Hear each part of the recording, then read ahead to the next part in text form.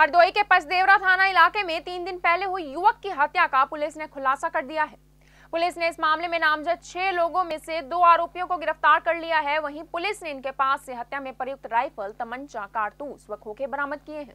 ASP के मुताबिक चार अभियुक्त जो फरार हैं। पुलिस उनकी तलाश कर रही है और जल्द ही गिरफ्तारी हो जाएगी।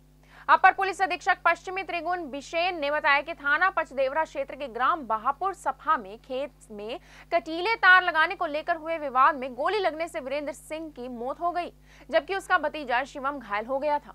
इस मामले की एफआईआर विशेश्वर सिंह ने पचदेवरा थाना पर कल्लू सिंह, दुष्यंत सिंह, रवि सिंह राम प्रकाश सिंह व मुलायम सिंह, मोनू सिंह के विरुद्ध दर्ज कराई थी।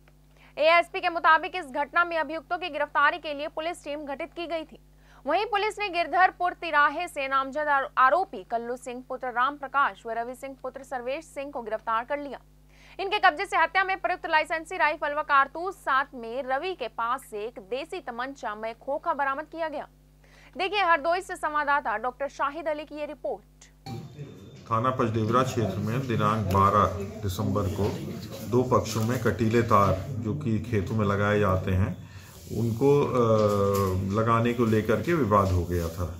वो जब विवाद आगे बढ़ा तो एक पक्ष जो कि जो है कल्लू सिंह है, ये इसने अपनी लाइसेंसी राइफल से फायर किया, जिससे कि दूसरे पक्ष के बीरेन्द्र सिंह की मौत हो गई। तथा तो उसमें से एक, उसका भतीजा शिवम घायल हो गया।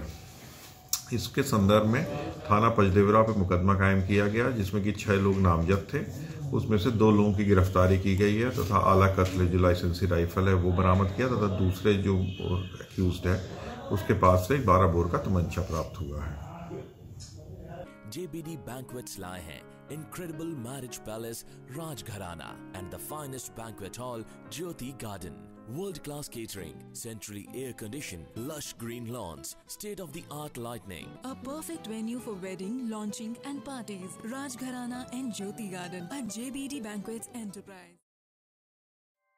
ऐसे ही लेटेस्ट खबरें पाने के लिए बेल आइकन को क्लिक कर हमारे चैनल को लाइक शेयर एंड सब्सक्राइब करें धन्यवाद